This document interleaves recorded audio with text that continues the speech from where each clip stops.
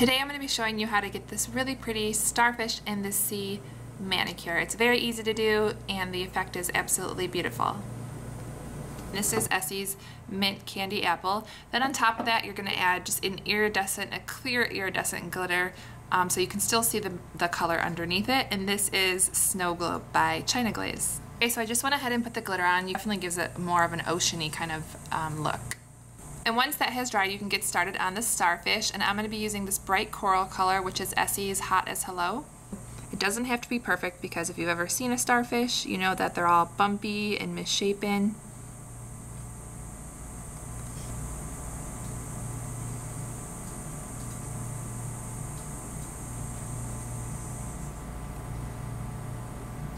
And I just like to kind of do a thicker layer that way it's nice and opaque and I don't have to do two coats.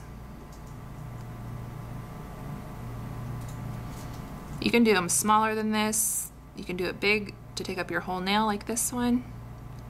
And I like to switch it up on each nail so each nail um, has a kind of a different pattern going on.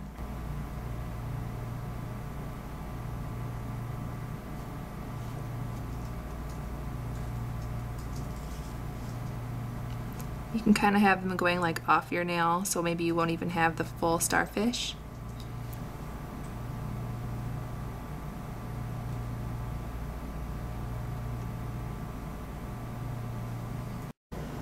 Okay, when your starfish are completely dry, you can see what I've already started to do. You're just gonna go ahead and put white dots kind of outlining the star, and I'm using a dotting tool. If you don't have a dotting tool, you can use the end of a bobby pin or a pencil and just start dotting. And the dots don't all have to be the same size. It doesn't have to be perfect.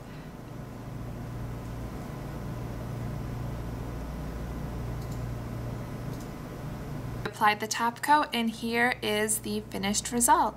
I think it looks super cute. Definitely gives you that ocean kind of feel um, underneath the starfish. I think it's absolutely beautiful manicure and really easy to do and doesn't take a lot of time at all.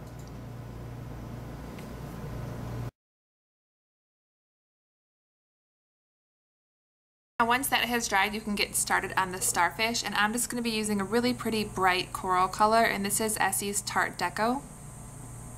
Oops, that's the wrong color. Oops.